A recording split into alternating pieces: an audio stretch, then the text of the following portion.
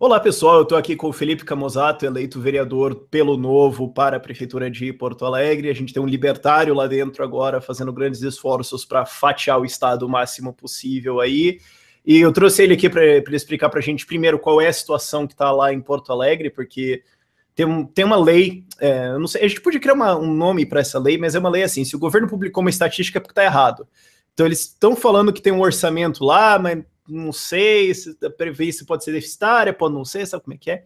Eu trouxe ele para ele explicar aqui a situação um pouco para a gente e o que, que ele está fazendo lá para uh, ah, reduzir o peso do Estado na nossa vida e reduzir a parasitagem uh, que nos acomete. Então, Camozato, seja bem-vindo aí. Valeu, Rafael. Cara, um prazer estar tá, tá no canal aí. Uh, eu que sou um cara que acompanha os vídeos, então agora tá participando é muito legal. Mas, cara, a situação aqui em Porto Alegre é muito louca, assim realmente, né, tem uma discussão sobre os valores das finanças de Porto Alegre. Então, tanto o governo atual do Marquesan uh, apresenta alguns valores e uma forma de analisar os balanços e, e, e as, as, receitas e despesas de Porto Alegre, quanto a gestão anterior contesta um pouco a forma de análise. Uh, o, o, grande, a grande, a grande questão, assim, para dar uma, uma noção de, de, tamanho, tá? a gente tem aqui uma receita de 6 bilhões de reais, tá? esse é o orçamento do município, 6 bilhões de reais, e no ano passado foram gastos praticamente os 6 bilhões de reais em despesas. A gente tem Isso já contando IPTU, impostos e também os repasses federais, né? É, é, é, que, é que, quando a gente está falando de governo, tem muito isso, mas contando o que é. Não, o orçamento é isso, mas contando o que é, o que, que é orçamento, o que, que não é. Então tem que explicar, pois é. é um saco. Não, IPTU, ISS, ITBI, os impostos municipais, eles correspondem a 28% só do, do orçamento. O resto da grana é, daí vem de repasses de outras origens. E, e, bom, dado que o orçamento no ano passado ele fechou entre receita e despesa uma diferença positiva de 21 milhões, então, em tese, pode pensar que não é deficitário, né, tá, tá equilibrado as contas. Bom, em tese, a, a gente tem, assim como quase todo problema município, estado e federação brasileira, problema com previdência, a gente tem uma parte da previdência que é repartição simples, outra parte capitalizada. Nessa parte que é repartição simples, são quase 650 milhões de reais que não fecham aí. E, né, se for pensar em proporção ao, ao orçamento do, do, município, é bem grande. Uh, e, e, bom, isso gera uma série de problemas, principalmente de fluxo de caixa, que é o que o Marquesã está enfrentando agora. A gente está caminhando, como a gente tem aumentado o custo com funcionalismo, previdência tudo mais, ou seja, o gasto do município ele tem aumentado, enquanto que as receitas elas estão estagnadas e ou decrescendo, já que os repasses diminuíram por conta da crise, né? Ah, uhum. não houve aumento de alíquotas também. Então, o que aconteceu foi que estagnou-se a receita e a despesa continua subindo.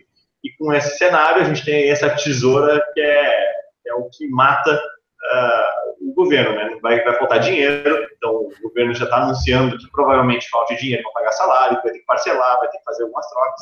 E eu sou o cara que vem aqui na Câmara, subo na tribuna e digo, olha, faltando dinheiro, entre aspas, está cheio de patrimônio aí que poderia ser uh, vendido, né, ser privatizado, enfim, e a gente conseguiria fazer caixa, se livrar de algumas despesas para conseguir ter mais fôlego. Uh, vai aí, da, vai aí uh, da coragem do governo de assumir essas posições e botar para frente esses projetos, e também, claro, da viabilidade disso passar aqui na Câmara. Não, querendo ou não, eu sou um dentre 36 vereadores, né, sou o único liberal libertário aqui da casa, os demais são né, uh, 50 artistas em, em, maior ou menor grau, né, mas não uhum. compartilham da minha visão de, de, privatização de tudo. Então, uh, isso impõe algumas, algumas dificuldades adicionais nessa história. Porto Alegre é uma cidade extremamente estatista. Uh, historicamente, é uma cidade que o PT uh, teve suas bases muito fortes. A gente tem aí grandes exemplos de políticos gaúchos que foram despachados. É, vocês têm que se explicar muita coisa ainda, viu? Olha. pois é, então, essa culpa, então, é, é um fardo muito grande que a gente carrega enquanto gaúchos, e Porto Alegre tem muita responsabilidade nisso, né?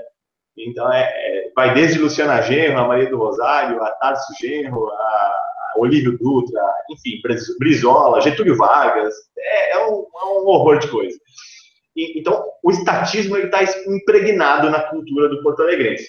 A gente tem aí um, população que é majoritária em Porto Alegre, que ela vive de recursos públicos, ela é funcionária do, do Estado, do município, do governo federal, enfim, ela, ela recebe contra-cheques em alguma medida uh, do governo e, por isso, as corporações elas são muito fortes.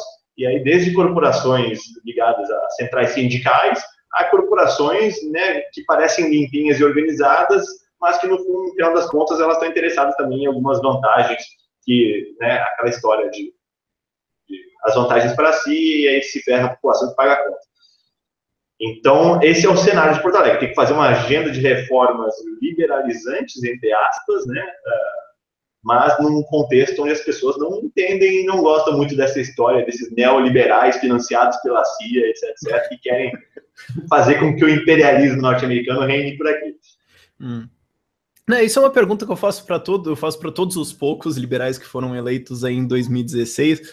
Eu, a galera tá conseguindo entender que você é libertário ou eles ainda estão meio o que, que diabo que esse cara tá fazendo aqui? Estão entendendo ou Cara, tão, tão sim, cara. É, eu, eu, eu pessoalmente fiquei surpreso, assim, eu tinha um certo receio de entrar aqui na Câmara e ser uma voz meio isolada, ficar isolado num cantinho, não conseguir dialogar com ninguém. Mas no final das contas, tem muito vereador interessado em conhecer as ideias, curioso sobre isso também, e que acaba ouvindo os discursos e, e chamando atenção para alguns pontos que são racionais, que fazem sentido, mas que talvez antes eles nunca tenham ouvido da forma com que a gente apresenta. Ou então não tenha tido um ambiente político ou situação favorável para que essas ideias fossem defendidas. Então, já, já teve vezes que eu subi no plenário, eu subi na tribuna para falar sobre algumas coisas que eram, seriam vistas como muito radicais, né, como extinção de secretarias, aqui a gente teve, a extinção eram 37 eh, secretarias, autarquias, foi para 15. Então, foi uma redução bastante grande né, de, de estrutura municipal. E eu subi na tribuna para falar que tinha que cortar mesmo, tudo mais, tá? que não adianta, vamos, vamos fazer secretaria para tudo, então, já que é, é só ter um, um, órgão chamado Secretaria do Idoso, que significa que todos os idosos agora estão protegidos. Então, vamos fazer a Secretaria do Índio, Secretaria do Japonês, do Negro, do Branco, do Amarelo, Secretaria das Sereias, dos Peixes, né? Vamos fazer Secretaria para tudo, assim a gente protege todo mundo e beleza, todo mundo vive feliz e abraçado. Não tem nenhum problema que a Secretaria não cure, né? É, é, quem sabe não cria uma secretaria da felicidade, que o Maduro fez lá com o Ministério, né? É, não, dá ideia, não dá ideia. então, isso de certa forma chocou algumas pessoas, mas outros vereadores falaram: não, realmente, você tem razão, é, você tem razão, Cavazato, não faz sentido ter um monte de coisa e pode. Uma secretaria só cuidar de um monte de coisa, não significa que vai estar desassistido, ou que as pessoas vão morrer nas ruas agora e, e vai ser um inferno na Terra. Então, isso está interessante. Aos pouquinhos as ideias estão. Claro, eu estou há três meses só aqui dentro, né? Então há de se guardar as proporções. Mas está sendo bem interessante de ver assim, que as ideias estão começando a ser uh, reverberadas aqui dentro, as pessoas estão entendendo, de certa forma, algumas com mais resistência, outras com menos. Mas a gente está conseguindo deixar uma mensagem. E eu acho que isso é o mais importante uh, para alguém como nós, que chega com as nossas ideias num parlamento. É fazer com que as nossas ideias sejam ouvidas, mesmo que a gente não consiga aprovar coisas que a gente gostaria de aprovar. Né? E aí, nessa situação de crise, o Marquesani falou: ah, nem pense em falar sobre redução de tributos. Pô, eu queria reduzir tudo, entendeu? Mas, dado que não tem viabilidade política disso acontecer, então eu vou ficar falando, enchendo o saco sobre isso o tempo todo que puder. Entendeu? Vou falar de privatização tanto quanto eu puder falar de privatização. Porque, cara, esse é o nosso papel também. Esticar a corda para que esse assunto seja debatido, para que seja posto à mesa. Se a gente não falar, se a gente não fizer esse nosso papel, vai ter gente que vai falar o inverso, que tem que estatizar tudo, que nem a gente viu aí. Uh, estatizar é, tem que estatizar o DBF. Pior que, pior que alguém até me lembrou que eu fiz um vídeo de brincadeira faz muito tempo que eu falei: olha, é o seguinte, o problema da corrupção no Brasil é que ela é muito desigual, entendeu? Tem muita gente recebendo e os, e os políticos pequenos precisam receber umas propinas também, então precisa criar uma propina Brás, entendeu? Aí eu já veio o Greenwald e já deu, falou: ó, a gente estatiza o Debrecht e já faz uma propina mais igual no Brasil para resolver o problema, entendeu? Porque a propina tá indo para uma elite branca paulista, isso não é legal, tem que ir para o Brasil inteiro. É, pois é. O Greenwald acabou colando com a minha ideia. Acho que por isso que eu falo, não zoa que vai que os caras compram a ideia, né? É, é verdade, é verdade. Mas, mas nesse tempo aí, é, o Marquisão falou que ah, não vamos mexer em tributo, mas ainda tem uma coisa que eu vi falando aqui no meu canal também.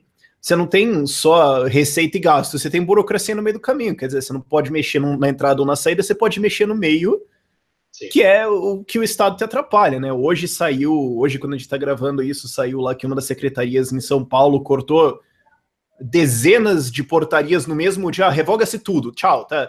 Pega a pilha aqui, é. traz o arquivo, tá revogado, pronto. Se eu não sei o que tem, é porque não importa. Foi uma lógica mais ou menos assim, e você tá fazendo alguma coisa mais, tentando montar uma coisa mais ou menos do gênero aí, né?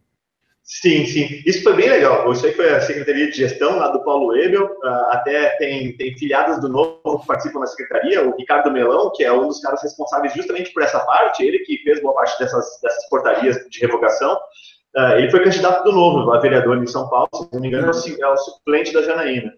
E, e, tem um outro amigo meu, muito amigo meu, que é o Gabriel Torres, trabalhando lá junto, que também é filiado do Novo, até ajudou na minha campanha, e também está lá ajudando o Weber nisso aí. Então tem, tem, dedos, tem dedos do Novo ali também nessa história, que é muito que uhum. me deixa bastante satisfeito de ver que a gente está conseguindo cumprir um papel, ainda que pequeno, né, um, um grão de areia no mar de coisas que a gente tem no Brasil, mas que aos poucos a gente vai indo. Mas sim, aqui eu estou com a ideia de fazer isso também. É, eu propus e compus a Frente Parlamentar do Empreendedorismo e da Desburocratização. Basicamente, essa frente ela é para trabalhar alterações legislativas para permitir uh, a redução do tempo de abertura de empresas e simplificar a, a, gestão de empresas né, aqui na cidade de Porto Alegre. Porto Alegre ocupa um dos piores lugares nos rankings brasileiros, dentre as capitais, para se empreender. Então, a gente quer mudar esse cenário e 11 vereadores já fazem parte dessa frente, que ajuda a ter capital político para que a gente consiga pressionar pelas mudanças e fazer com que elas sejam aprovadas. Além disso, no âmbito da frente e também fora dela, é, eu comecei um trabalho voluntário, com pessoas voluntárias, sejam ligadas ao novo ou não, as pessoas que gostaram da ideia, é, começaram a enviar sugestões de leis para serem revogadas. Porto Alegre tem cerca de 12 mil é, leis ordinárias, tá? E a gente começou a, a, passar por todas elas. A gente quer mapear, fazer um pente fino em todas elas e revogar o máximo possível que a gente conseguir aí para simplificar a vida das pessoas. A gente já tem 100 delas prontas, mapeadas para encaminhar para revogação. Uh, recém começamos a fazer o protocolo desses pedidos. Uh, isso é uma coisa que a gente vai ter que aprender fazendo também. Não, a gente não sabe ainda se é melhor fazer... um saco, mas tem que fazer, né? É, pois é. Então a gente está tentando descobrir qual é a operação mais uh, mais rápida e razoável de se fazer para derrubar isso, né? Se é pegar e fazer um blocão de leis inúteis e aí botar tudo para revogar numa votação só, se é a gente dividir por áreas, se é, enfim, né? Como é que a gente faz isso? E então estamos aprendendo fazendo e a gente quer ao longo do mandato todo passar por todas essas 12 mil e tentar revogar tudo que for possível. Hum. É, para quem não sabe, eu até, enquanto você estava falando disso, eu procurei aqui as estatísticas que eu estou preenchendo para fazer um vídeo sobre isso. É, tem tem um, um, ranking que é a facilidade de fazer negócios, que é do Banco Mundial, e o Brasil está em terceiro último lugar em velocidade para se abrir uma empresa. São Paulo, né? Porque eles medem São Paulo e Rio de Janeiro. É, São Paulo leva assim, 101 dias para abrir uma empresa, a gente só ganha da Guiné Equatorial com 134 e, obviamente, a Venezuela com 230. Ah, então conhece a Venezuela? Não, é, tá muito bem. Agora, em tempo de pagar impostos, em horas para pagar impostos, uma empresa média gasta mais de 2 mil horas, 2.038 horas. O segundo lugar é a Bolívia, com 1.025. Então, nós somos os campeões. O ranking aqui, claro, coloca Somália em último lugar, porque lá diz que não tem, não funciona, mas enfim. Essa é a dificuldade. Ah, então, só mexendo isso já ajuda todo mundo, né? Não, então, além do governo já nos roubar com os impostos, eles ainda dificultam o assalto, né? Então, é, isso ainda é, é um assalto que demora é três meses, né? Poxa, se fosse isso, chega e vai embora, pô, preciso ter que trabalhar aqui, que saco. Tem que ficar na fila para ser roubado é. ainda. É, então, e, isso é uma loucura, cara, isso é uma loucura. E Porto Alegre, ela, ela é ainda pior, na verdade, porque quando tu pega São Paulo e Rio de Janeiro, São Paulo e Rio de Janeiro, eles são muito bons comparados com Porto Alegre. O Doing Business, ele não mostra a nossa realidade aqui. Uhum. O índice de cidades empreendedoras da Endeavor, que analisou Porto Alegre no detalhe, tá? Só que aí não é uma, um problema só do município. O município tem uma parcela, mas a, a maior parcela é do estado do Rio Grande do Sul. É, e aí aqui, na época que o Cidades Empreendedoras foi, foi lançado, o último relatório, é, chegou-se a 484 dias para ser empresa. Ah, é. e, e aí o maior motivo disso se chama PPCI, o Plano de Prevenção contra Incêndio, que é, é, dado pelo Corpo de Bombeiros, né, pelo, pelo governo do estado, e que a gente teve uma situação uh, bizarra aqui, que a gente teve o acidente lá da Boate Kiss, né, que repercutiu no Brasil inteiro, 240 pessoas, se não me engano, morreram numa boate por causa do incêndio, e para dar uma resposta política àquela situação, o que, que nossos burocratas fizeram? Eles simplesmente construíram um dos piores regramentos existentes no mundo sobre legislação contra incêndio, e fizeram com que diversos negócios não conseguissem se regularizar e sofressem nas mãos de, de fiscais e de bombeiros que não sabem exatamente como podem fazer, porque eles não são engenheiros, né? E eles têm que, e eles têm responsabilidade legal sobre a assinatura das autorizações que eles, que eles dão. Então, por um lado, é insegurança para o próprio bombeiro que está assinando aquilo e dá uma autorização, por outro, o empreendedor não sabe quando ele vai estar tá ok, quando ele vai estar tá, né, sem risco de ser autuado ou de ser fechado sumariamente por conta de um fiscal. E, nossa, isso é bizarro, é, é horrível a situação. Uh, houve agora, recentemente, uma flexibilização nessa legislação, que aconteceu na Assembleia Legislativa do Estado, facilitou um pouco, e está se encaminhando aqui em Porto Alegre para um trabalho uh, de simplificação também de, de, análise de documentos e tudo mais. Então, baixo risco, negócios de baixo risco tenderão a ser analisados e liberados com poucos dias de requisição. Então, isso deve melhorar. Em breve, a gente está olhando e, e, tentando ajudar o máximo possível para que isso seja resolvido quanto antes.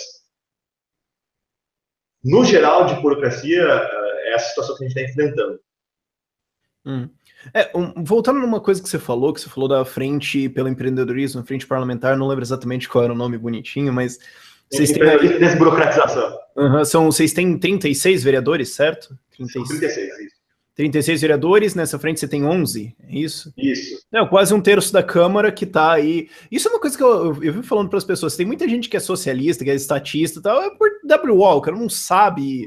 É, às vezes é uma, é uma boa intenção de ajudar, só que não faz a menor ideia como ajudar, e você chega com um argumento simples e consegue convencer o cara. O Paulo Martins fez isso lá em Brasília, conseguindo abertura. É, ele foi um dos grandes puxadores para abrir o capital aéreo de empresas para 100%. Conversando com você. sindical também, né? É, do, tá puxando isso também. E de conversar ali com os deputados e colocar um argumento assim um pouco mais. Mas como não tinha ninguém ali capaz de fazer esse argumento, os caras ficavam ali, ah, tá, sei lá, regula, não sei fazer. Tem que fazer alguma Sim. coisa, certo? Né? Para os seus eleitores não pode fazer nada. Seria, aliás, é. muito bom se fizessem, mas enfim. É, tem, Antes tem, disso. tem muita coisa assim mesmo. O, tem, tem, muito parlamentar que é bem intencionado, são pessoas boas, pessoas honestas, sabe? Mas que, eventualmente, por não terem tido contato com as ideias, por não terem tido realmente uma explicação razoável, acabavam uh, entrando em algumas políticas que eram ruins, né? Daí vão lá, votam sem, uhum. sem, uh, sem saber quais são as consequências daquilo. Né? Às vezes até por ingenuidade. Então a gente está tentando fazer esse trabalho também. Claro, a gente não é o senhor da razão e eu também não sou o cara que sei tudo. É longe disso. Tem, cara, tem gente aqui na Câmara que está há anos, que tem muita experiência no município, conhece pra caramba mesmo. E, e que eu estou aprendendo muito também com esses caras.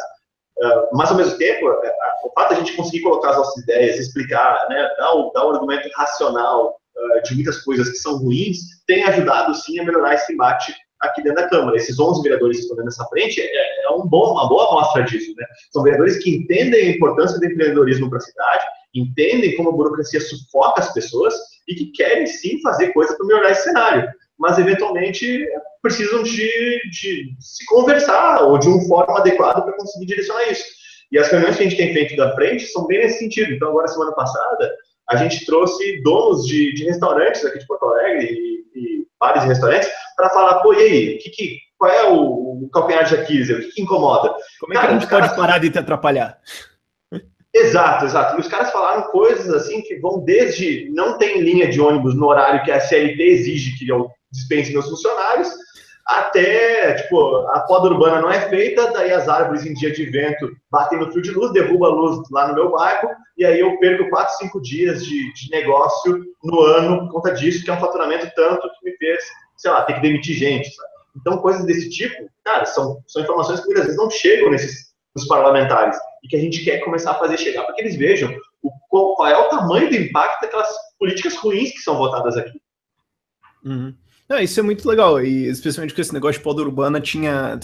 Eu não lembro qual prefeitura, mas eles falaram: olha, é o seguinte, você pede autorização, se em 30 dias não responderem, ou 10 dias, não sei, você corta mesmo que se dane. Se, se os caras não responderam, uh, muda a presunção, né? Que se não te disseram que não, não disseram que não, você pode fazer, ao invés de dizer que você tem que esperar autorização. Mas isso foi só uma coisa marginal assim que eu uh, lembrei agora, mas é legal de ver essa frente aí. E daí tem no, finalmente o assunto que é o bicho-papão de todo mundo, que é a privatização, né? Sim. Vocês têm aí várias estatais em Porto Alegre, está tentando lembrar quantas. Se você não sabe quantas são, é muito. Dá é, pra gente ir por essa regra. Não, pode ser por falta de estudo da minha parte também, mas assim, eu tenho me concentrado bastante em bater em pelo menos uma delas, que é a Carris, que é a estatal de transporte. A gente tem aqui um consórcio de empresas que fazem transporte público na cidade, uma delas é estatal, e ela, ela, nos últimos anos, ela tem tido um déficit de 50 milhões de reais. 50 milhões de reais, para dar um paralelo, é mais do que o orçamento, é quase o orçamento de segurança pública do município. É isso que está custando essa empresa. Uhum. E, e, é bizarro, assim, porque não sei da onde que faz sentido a gente ter uma empresa de transporte público, sendo que a gente já tem outras privadas operando na cidade. E aí o argumento de, de muita gente, inclusive da, da, esquerda, que eu tenho debatido mais, é, de, é, é o seguinte, é um argumento bem, bem engraçado. É, mas a, a Carris ganhou prêmios nacionais de qualidade, é a melhor empresa de transporte público do Brasil. E aí minha resposta tem sido, olha, se eu puder me dar o luxo de ter um déficit de 50 milhões, posso dar até cafezinho e brownie, chocolate para os passageiros, né, já que não tem problema ter prejuízo, né? Como que eu não seria a melhor empresa, já que eu posso me dar o luxo de ter prejuízo? Hum. É justamente o desafio. Qual é o faturamento dela, você sabe aí? Cara, não lembro de cabeça. Putz, essa hum. eu devia saber porque eu estava discutindo isso faz poucos dias, mas eu não lembro de cabeça. É tanto número que a gente acaba vendo que eu não, não lembro. Mas, mas cara, é, é, risível, assim, sabe? E aí a gente tem a, a própria legislação de transporte público, é muito engessada. Então, dentro do contrato, dos contratos que foram firmados, tem lá a determinação de que rotas devem ser atendidas, em que horários, quantos veículos devem ter, uh, sabe? Uh, em que pontos devem parar e não devem parar. E aí tem rotas aqui que são tão antigas, são de 30, 40 anos atrás e que não foram modificadas. E as empresas não têm autonomia de modificar, porque senão tem gente que vai ser desassistida, sabe? Então é um negócio ridículo. Daí se discute o preço da passagem. E é uma polêmica na cidade se a passagem vai custar quatro reais ou se vai custar quatro reais e cinco centavos. E, cara, faz sentido. A gente, por acaso, discute se o arroz tem que custar dois reais o quilo, se tem que custar dois reais e cinco centavos o quilo. Claro que não. A gente tem que estar discutindo passagem de ônibus, sabe? Não faz o menor sentido poder discutir passagem de ônibus. Então, o fato de a gente estar discutindo isso é porque está errado. Uhum. Não tem que ficar perdendo tempo de vereador e, e, e de prefeito em torno de preço de passagem de ônibus, sabe? Deixa o mercado fazer, deixa o mercado agir. Enfim, é aquilo que a gente já sabe, não vou chover numa olhada. É, sim, mas é, é, que muita gente não sabe, nem isso é uma coisa que eu ensino no meu canal. Eu vivo falando para as pessoas, a maior parte das pessoas não sabe como funciona o ônibus. Ah, tem uma licitação, você vai usar essa linha, vocês vão fazer essa linha que o governo decidiu que vocês têm que fazer, e se alguém mais tentar competir com você, o cara vai preso. e você tem um lucro garantido, ou você tem do, o quanto você pode cobrar garantido, e é uma palhaçada gigantesca, quer dizer, não tem a menor competição. É, é... Não só isso. E, e, aí, por exemplo, aí tem regras extremamente bizarras. Tipo, ah, não basta os ônibus estarem bons e em perfeitas condições. Não, eles não podem ter mais de 10 anos de vida. Ponto. Aí agora está se discutindo que aumente esse prazo de 10 para 12 anos. Com isso, teria uma, uma redução de preço de passagem para a economia. Cara, na boa, precisa estar tá na lei a idade dos ônibus? Será que uhum. ter algum tipo de avaliação de usuário por aplicativo não seria suficiente? É, se ele funciona, se ele funciona, se ele cumpre a função, não. Porque até isso aqui até que um desincentivo, eu sei que a gente está entrando muito no específico, mas isso cria um desincentivo claro. para a empresa. Eles falam, não, vamos comprar um ônibus aqui que vai durar 20 anos de qualidade. É, mas a legislação diz que 10 anos depois a gente tem que jogar fora. Então vamos comprar outro que vai durar 10 anos, porque não, não tem sentido comprar um melhor. Sim, Por que, que eu faria sim. isso? É. Não, e aí tem as questões de meia passagem, né, de, de gratuidades, isenções. É, é, aqui em Porto Alegre, por exemplo, tem uma lei municipal que obriga que todo ônibus ele tem um cobrador. Tem que ter, tem que ter lá o trocador, o cobrador, né, hum. além do motorista. Então, pô, sabe, faz sentido a gente ter uma lei que obriga isso. Então, tem muita coisinha nesse, nesse sentido. Uma outra coisa que eu acho interessante a gente falar aqui é sobre a EPTC, a Empresa Pública de Transporte e Circulação ela é uma empresa pública, entre aspas, mas é uma autarquia, mas é uma, é uma, é uma situação jurídica meio complicada. Mas, em todo caso... Ela, ela se identifica como autarquia, e as empresas podem, agora, vão passar uma lei em Porto Alegre, que a empresa pode se identificar como ela acha que ela pode se identificar. Ela foi uma criação da prefeitura de anos atrás, com o intuito de liberar a polícia militar para fazer o trabalho de policiamento, e, portanto, teriam agentes de, trans, de transporte público, agentes de fiscalização de trânsito, para fazer o trabalho de fiscalização de trânsito. Então, uh, vulgo multar. É, em outras palavras, não melhorou a segurança pública e a gente ganhou um monte de gente para multar os carros. Uh, isso custa para Porto Alegre em torno de 100 milhões de reais, tá? Então, são 100 milhões de reais empregados nessa, nessa empresa e que a receita dela, oriunda de, de multas e tudo mais, é de apenas cerca de 30 milhões de reais. Então, um terço, é, falando a grosso modo. Ou seja, nem a empresa que foi criada, né, de certa forma, com o intuito de arrecadar, ela não consegue ser sustentável. Hum. É, e ainda cria um buraco de 70 de milhões de reais que podia ir para segurança pública ou, sei lá, dar em desconto para quem quer contratar segurança privada. Pronto, não sei. Mas quer dizer é, que é um novo gasto, não melhora a segurança e. Bizarro. Pois é, aí a gestão atual agora, Marquês, ela está tentando dar um outro foco para o IPTC, está tentando, tentando, melhorar um pouquinho, pelo menos, o uso desse recurso. Não sei até que ponto vai ser produtivo, mas eu estou com né, uma boa expectativa e torço para que melhore alguma coisa mas de tentar deixar esses agentes mais na, mais na rua, para tentar dar uma sensação maior de segurança, a gente ter um agente do Estado ali nas esquinas, Esse, eles não estão mais fazendo as, a, a caça Uber, estava rolando isso até pouco tempo atrás, né? faziam chamadas falsas para Uber, daí chegava o Uber lá, prendia o carro, ferrava o cara. Então isso não está mais acontecendo, não estão mais se escondendo de noite para multar, coisa que também acontecia. Os caras ficavam três da manhã numa avenida que é, é reta, que tem uma descida, e aí todo mundo passava acima de 60 por hora, e aí o pessoal ficava escondido atrás de um poste às três da hora da manhã, só esperando para multar todo mundo. Qual é o sentido? Que educação é essa de trânsito, né? Então isso também não está mais acontecendo, e pelo menos nesse ponto está se melhorando em algo. Ainda assim, óbvio que eu acho que não, não faz sentido também empresa de transporte e circulação, é, teria mil outras formas de, de repente, fazer isso, uh, mas politicamente é o que temos para o momento, né? Óbvio, minha visão de liberal libertária é muito diferente do que a gente tem. Uhum.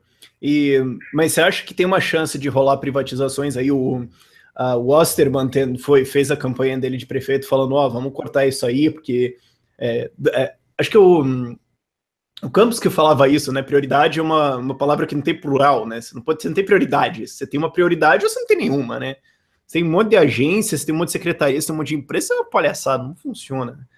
Mas você acha que tem alguma chance dessas privatizações acontecerem ou como é que tá a atmosfera aí? Cara, sinceramente, eu acho que tem. Eh, da Carris, por exemplo, eu acho que tem, eh, tem, tem, tem possibilidades. Eh, claro, eu sou um cara um pouco otimista, né? Não é à toa que eu resolvi me candidatar a vereador. Estou aqui, né, fazendo parte como agente do Estado, como burocrata. Então, acho que isso é bem otimista da minha parte, ou burrice minha, mas enfim. Estou uh, tentando fazer alguma coisa. Mas uh, eu acho que tem sim uh, possibilidade. O, já tem bastante discussão sobre isso, é uma pauta que está sendo recorrente. Eu estou fazendo questão de bater bastante nessa pauta sempre que posso. Uh, a prefeitura, apesar de não manifestar abertamente que quer privatizar, ela já tem falado que, ah, se não melhorar a gestão, se não reduzir o prejuízo, a gente vai privatizar mesmo. Então, isso já é um avanço perto do que Porto Alegre ouvia no passado, né? Era intocável, era, era um palavrão falar em privatização. Hoje já não está mais sendo um palavrão, ainda, ainda gera resistência, mas não é mais tanta. Então, acho que está se criando um ambiente onde a gente vai poder, em breve, chegar e dizer: ó, oh, tá, beleza, você prefere pagar uh, salário do professor da escola básica lá, ou prefere né, ter um ônibus rodando do município? Não faz sentido. Uhum. Eu acho que está se caminhando para isso. E eu acho que os exemplos que a gente está tá dando, ou pelo menos tentando dar, são muito importantes.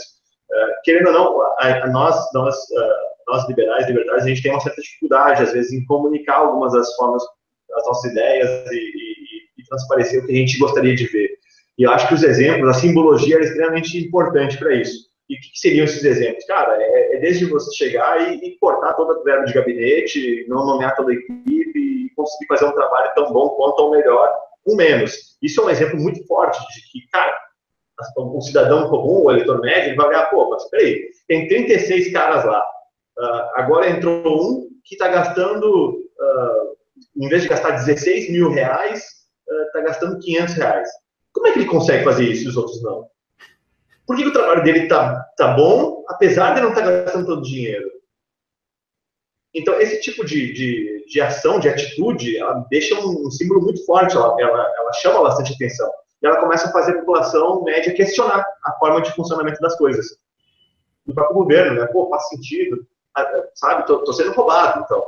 E, e, isso aos poucos vai contaminando o ambiente e favorecendo que pautas nossas avancem. Hum. É, isso é uma coisa que eu vivo falando, né? É, às vezes as pessoas não têm muita imaginação, é difícil, muito difícil explicar um conceito assim todo abstrato para ela, mas é muito fácil você mostrar duas coisas e falar, compara. Você está vendo que esse aqui é melhor? Bom, então é simples. Você faz a pessoa. Por isso todo mundo gosta do Uber, mas pouca gente entende de libertarianismo ou empreendedorismo, etc. Não, mas gosto do Uber. Bom, tá bom. já facilita.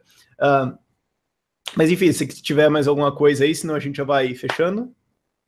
Cara, não sei, acho que não, deixa a conta aberta. É, eu, eu, eu encaro assim, é, é, muito legal, até te agradeço por abrir esse espaço. É muito legal a gente estar tá começando a se meter no meio para começar a mudar as coisas por dentro. Eu, eu deixo um convite, assim, que as pessoas se engajem nisso também, no medida do possível, né, se engajem nisso, porque isso faz diferença.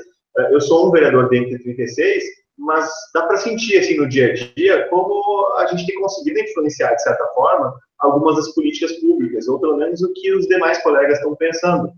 Ainda que eles não concordem com a gente em muitas delas, né, e eu nem quero, não, não tenho pretensão de fazer, de convencer todos eles, nem nada, né, não sou melhor que ninguém. Mas uh, o fato deles ouvirem uma visão diferente e verem que tem uma representação de uma ideia diferente, já muda totalmente o espírito da coisa. Porque antes tu tinha sessões plenárias aqui, onde se falava estatice 100% do tempo.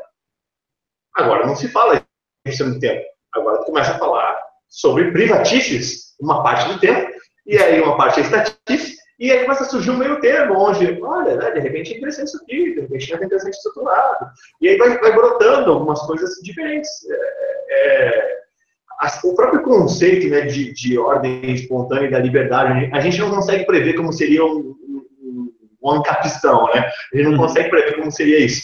E, e, a própria atuação de liberais dentro dos parlamentos, ela tem um pouco disso também. Eu não sei até que ponto as coisas que eu estou fazendo aqui conseguem influenciar nas pautas, mas eu sinto que influencia. Eu não sei o que vai surgir daqui a um ano a partir disso, mas a gente está plantando algumas sementes. Eventualmente, a gente está criando condições para daqui a dois anos, coisas que não se pensava serem possíveis, sejam possíveis, como, por exemplo, não ter mais estatal em Porto Alegre. Hum. Então, é, é dois anos importante. atrás ninguém achava que ia ter impeachment. Se eu rolar de impeachment, a galera falava, ah, você é um louco, você é um sonhador, você não vai dar nada e tal. Exatamente, exatamente. Pô, e, e aí eu, eu, questão de explorar um pouco disso, explorar um pouco disso, não, explorar bastante disso, assim, uh, e, e, faço isso até, até eu, não só nas manifestações, mas a gente pegou, adesivou o gabinete todo ali, daí tem, tem Friedman, tem Mises, tem Hayek, sabe, na porta do gabinete para fora, do corredor, assim, é, eu tenho Ron Paul aqui dizendo né, que não roube, o governo odeia concorrência, então... Uh, e eu tô dentro da Câmara, né? Eu até brinco que tem, tem, tem gente que estaria se virando no túmulo aqui, por exemplo. Eu tenho o quadro do Hoffman aqui dentro do gabinete. com, a, com, a, bandeira, né? Com a, uh, pô, tem gás de flag aqui e tudo mais. Então, uh, isso, isso faz parte. A tomada de espaço é, é o nosso discurso entrando no parlamento. Quanto mais a gente conseguir fazer isso, mais fácil vai ser que as nossas ideias avancem. Eu acho que é por aí. Uhum. Legal, então. É, vamos ver daqui a alguns meses se eu consigo fazer outro vídeo para você explicar como foi tudo privatizado aí. Sem pressão. Pô, tomara.